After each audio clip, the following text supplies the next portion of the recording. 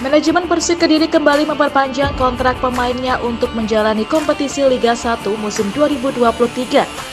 Di mana kali ini manajemen Persik Kediri giliran memperpanjang kontrak pemain kelahiran Aceh, yakni Miftahul Hamdi. Kepastian ini disampaikan oleh manajemen Macan Putih melalui akun Instagram resminya.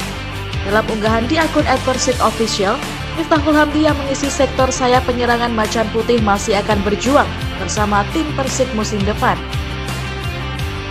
Sebagai pemain winger, pemain ini bisa dikatakan subur.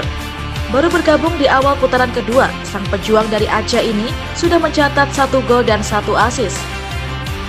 Bagi Miftahul Hamdi, berlabuh di Persik Kediri ibarat mimpi yang terpenuhi, karena itulah dia tak mau setengah-setengah. Hasratnya adalah memberikan imbalan yang pantas bagi klubnya itu. Ibaratnya adalah wujud balas budi pemain ini bagi klubnya. Memang beberapa mimpi Hamdi terwujud di Persik. Pemain kelahiran 1995 itu sejak awal ingin mendapatkan klub yang bersungguh-sungguh dengan dirinya dan Persik dianggapnya sangat serius. Di PSS Sleman, klub sebelumnya, pemain bernomor punggung 14 itu bukan pilihan pelatih Seto Nurdiantoro. Dia tak masuk dalam skema main sang pelatih, karena itulah dia memikirkan opsi pindah.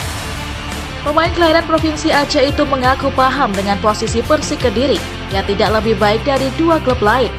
Namun ada tekad besar untuk melakukan pembuktian serta memberi balas jasa bagi Persik yang serius mendekatinya. Sejak bergabung pada Januari, Hamdi merasa sudah seperti di rumah sendiri.